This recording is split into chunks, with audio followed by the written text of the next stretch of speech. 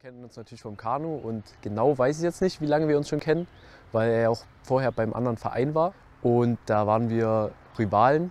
Da war so ein Leipzig Cup und da bin ich hinter ihm gestartet und er vor mir, habe ihn dann langsam eingeholt. Und als er das gemerkt hat, wurde ich äh, abgedrängelt von ihm in den Busch. Und im Nachhinein war die Ausrede, dass sein Steuer kaputt war. Und sowas kann er jetzt natürlich nicht mehr als Ausrede nehmen, weil er jetzt immer das beste Material zur Verfügung hat mit ihm in einem Boot ist nicht immer einfach, weil immer einer schief sitzt, man weiß nicht genau wer. Aber es wird dann natürlich immer auf den anderen geschoben. Und, aber wenn man dann vor, am Start ist und sich auf das Rennen konzentriert und im Rennen läuft es dann auch.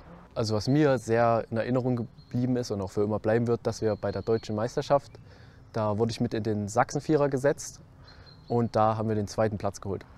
Also ich finde an Konrad sehr gut, dass er so eine so ein sehr gutes Bewegungsgefühl hat. Und wenn er, ne, wenn er sich was anschaut, wie andere Leute was machen und es dann probiert, dann kann er es direkt und man denkt, er wird es schon jahrelang machen. Außerdem kann er sich im Wettkampf extrem auspowern, immer 200 Prozent geben und da ist er früher dann auch immer direkt krank geworden danach. Sein Geheimnis fürs Training, denke ich mal, ist sein Wille. Also wenn er was will, dann macht das. Äh, etwas zu erkennen, was jetzt gut für ihn ist, das kann er sehr gut. Also das sagt auch immer unser Trainer Nico Malscher, dass er noch nie jemanden gesehen hat, der so viel äh, instinktiv weiß, was richtig für ihn ist. Er ist auf jeden Fall immer sehr lustig mit unserer Gruppe. Und im Kraftraum hören wir dann auch Musik und während dem Training können auch mal quatschen in den Pausen. Und das ist allgemein eine sehr gute Atmosphäre auch, vor allem durch ihn. Außerhalb des Sports sind wir beste Freunde.